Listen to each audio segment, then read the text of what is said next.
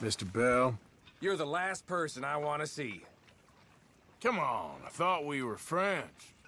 You all right there?